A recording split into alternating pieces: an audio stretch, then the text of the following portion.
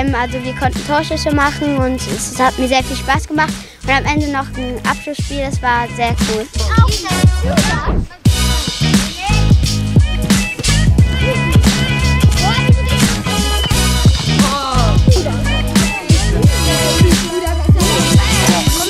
Also so wie man das den Kindern im Gesicht ablesen konnte, hat es ihnen sehr gut gefallen. Die Jungs, die fahren einmal im Jahr mindestens mal ins Stadion, schauen sich ein Spiel vom SVW mit an.